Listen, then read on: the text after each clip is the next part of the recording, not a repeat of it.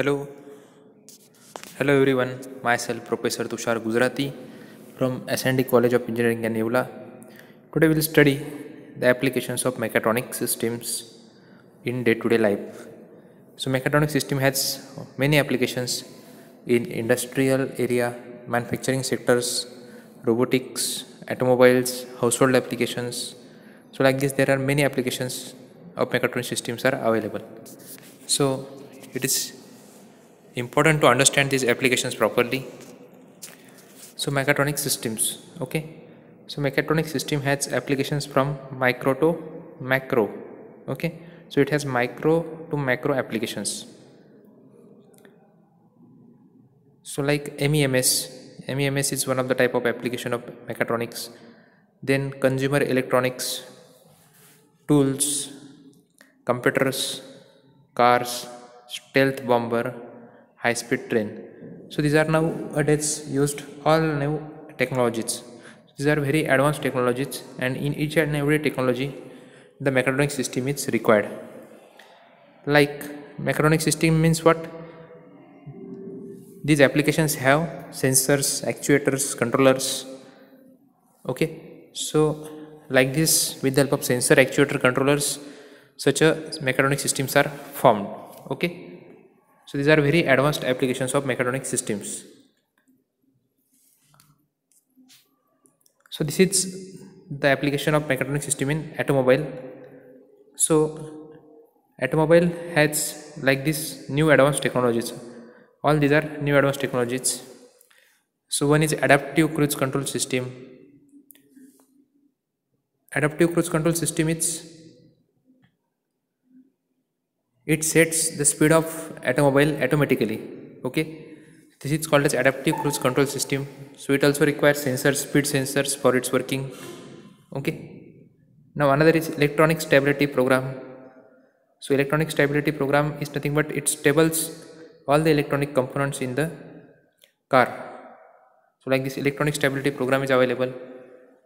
Power train control electromechanical brakes are available engine control module is available electronic traction control active body control brake assistance system brake by wire anti-lock braking system abs braking system drive by wire system. So all these are now advanced technologies which are used by automobile for its working. So all these require mechatronic systems for their working. They require sensor they require actuator they require controller processor so all this combination of everything makes the mechatronic system. So mechatronic systems have different different applications. Like one is shown here sanitation application. Sanitation application means one is soap dispenser one is paper towel dispenser.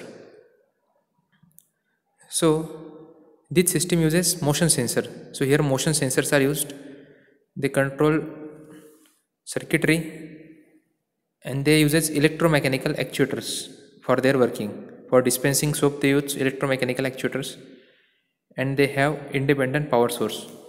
So you might have seen in many hotels or at your working area there are soap dispensers are used nowadays and paper towel dispensers are used. So its advantage is it reduces spread of germs by making device hands free and reduced wasted material by controlling how much is dispensed. Okay? So dispensing is controlled with the help of such as sensors. Okay? So these are all mechatronic systems. Again there is some mechatronic system shown that is smart home application. Smoke detector system. So in the house or anywhere smoke detector system is very important. If of any appliance at your home like cooker or any other appliance. If smoke is coming out that smoke should be tested and according to that horn should be there okay? Horn or any type of alarm should be active at the time. So this is smoke IC shown in figure. So smoke IC receives smoke signal from the smoke and give signal to LED driver or horn driver so that the horn gets activates or any other alarm gets activated. Next this is one of the type of household application that is called as microwave oven. So microwave oven usually works on time dependent okay? So timing is given for some cooking purpose and when time reaches its particular value then the heater gets stopped okay? So this is also one of the type of mechatronic system because there are some sensors and actuators are used. So thermocouple is used here for temperature measurement.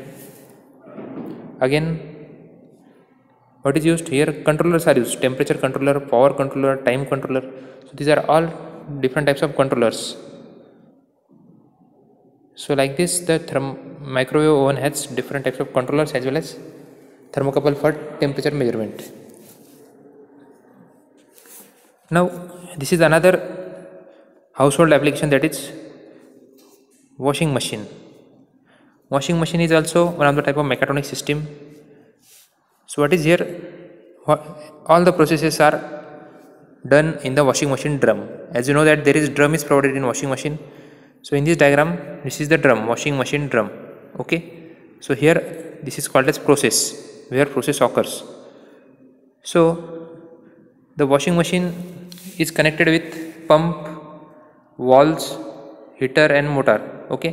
So all these are correction elements required in washing machine drum. Pump is used for pumping the water. Valves are useful for opening and closing it. Heater is for heating the water motor runs the drum. Okay so like this these are correction elements. And what is output of process? We need to understand water level. What is water level in the drum? What is temperature of water? What is speed of the drum? What is door whether door is closed or open? So these all type of outputs are taken as a feedback and they are given to the control unit. Okay? So the control unit receives sorry sorry. Control unit receives the feedback from all these type of outputs okay? And control unit makes correction in the correcting elements.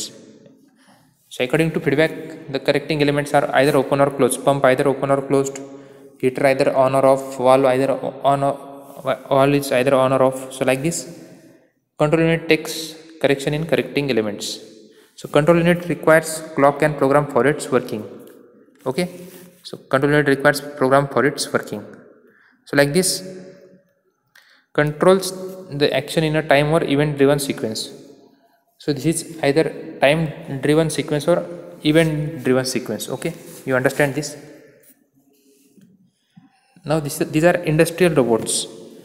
They are used for robots in manufacturing. So as you know that robots robots has different arms attached to it.